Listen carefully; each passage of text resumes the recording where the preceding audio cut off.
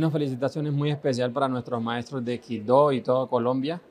En este día tan especial, este mes del maestro y maestras de nuestro territorio, que son las personas que con mucho esfuerzo, con mucha dedicación, sacan adelante los procesos de formación de nuestros menores en, en toda Colombia. Tenemos unas actividades muy especiales eh, que hemos organizado en conjunto con las asociaciones sindicales, en actividades que tienen que ver con acciones culturales y deportivas. Queremos que pasen una jornada muy bonita, compartiendo, generando acciones que permitan ellos planear también temas que tienen que ver con la convivencia.